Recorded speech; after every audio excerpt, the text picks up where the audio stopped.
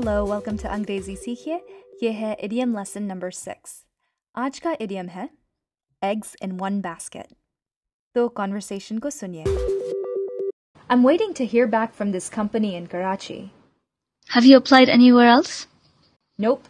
I'm really hoping to get this job. Maybe you should apply to other places. Don't put all your eggs in one basket.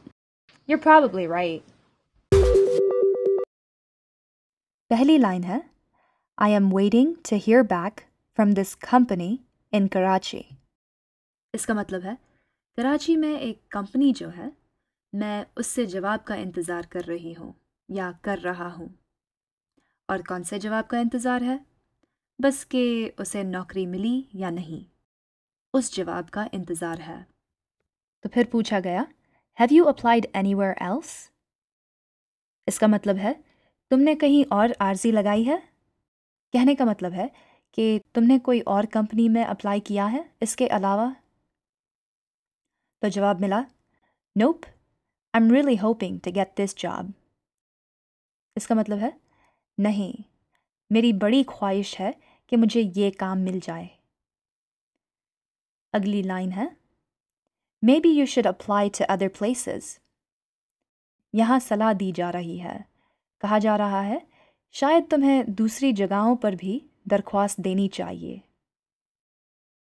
आगे है don't put all your eggs in one basket तो ये है हमारा idiom don't put all your eggs in one basket हम तब कहते हैं, जब हमें किसी को कहना हो कि उन्हें सिर्फ़ एक ही चीज़ से उम्मीद नहीं रखनी चाहिए और दूसरी जगहों पर भी कोशिश करते रहना चाहिए।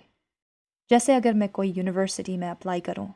और मुझे बस उसी यूनिवर्सिटी में दाखला चाहिए फॉर एग्ज़ाम्पल न्यूयॉर्क यूनिवर्सिटी तो मैं इस उम्मीद के साथ कि मुझे न्यूयॉर्क यूनिवर्सिटी में ही दाखला मिलेगा।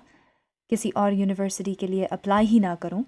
और अगर मेरी दोस्त मुझे सलाह देना चाहे, कहना चाहे कि मुझे और भी दूसरी यूनिवर्सिटियों में दाखले की आर्जियाँ लगानी चाहिए और सिर्फ़ एक ही यूनिवर्सिटी के भरोसे नहीं रहना चाहिए तो वो इस बात को इस इडियम के साथ आसानी से कह सकती है। Don't put all your eggs in one basket. इसी तरह इस डायलॉग में कहा जा रहा है कि दूसरी कंपनियों में अप्लाई करो। अगर वो तुम्हारी आर्जी मंजूर ना करें तो फिर तुम्हारे पास और भी रास्ते होने चाहिए। तो जवाब मिला यूर प्रॉबली राइट इसका मतलब है, तुम ठीक ही कह रहे होंगे। तो इधर ही ख़त्म होता है इडियम लेसन नंबर सिक्स अगर आपको हमसे कोई भी सवाल पूछना हो तो आप हमारे फेसबुक पेज पर जा सकते हैं, या हमें ईमेल कर सकते हैं, या हमारी वेबसाइट पर आप वॉइस मैसेज छोड़ सकते हैं तो until next time remember to share your knowledge.